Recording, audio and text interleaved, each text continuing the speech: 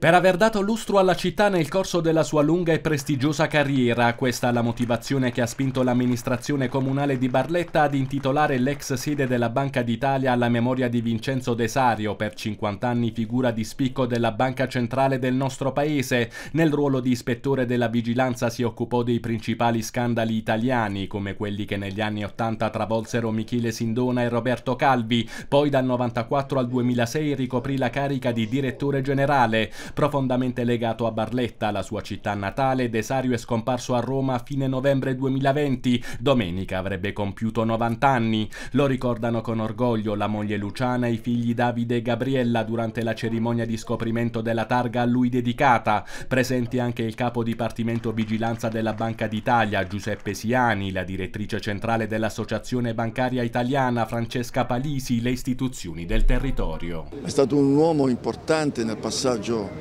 della lira all'euro e sono davvero orgoglioso che lui sia stato un barlettano. Io ero orgoglioso di lui quando lo sentivo nominare in televisione, quando lo vedevo insieme a uomini come Ciampi, Draghi, Guido Carli.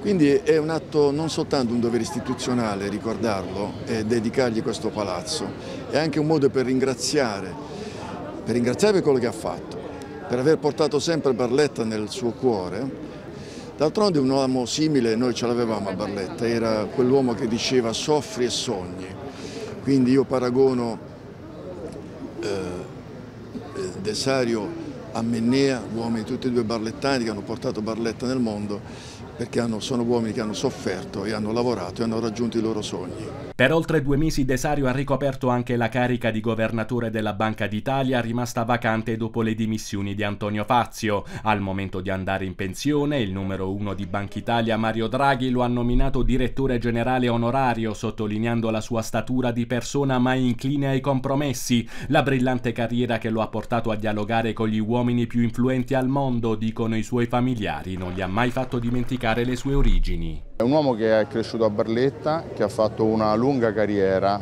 eh, all'interno della Banca d'Italia fino a diventarne il numero due, il direttore generale. È un uomo che ha, si è sacrificato molto, non ha mai dimenticato le sue radici, non ha mai dimenticato le persone meno fortunate ed è rimasto molto legato a questo eh, posto. Ieri siamo venuti qui con mia madre e a Viale Marconi ci ha fatto vedere il pezzo di basolato dove si sono dati il primo bacio. Ecco, senza quel bacio oggi non saremmo qui e tante altre cose non ci sarebbero.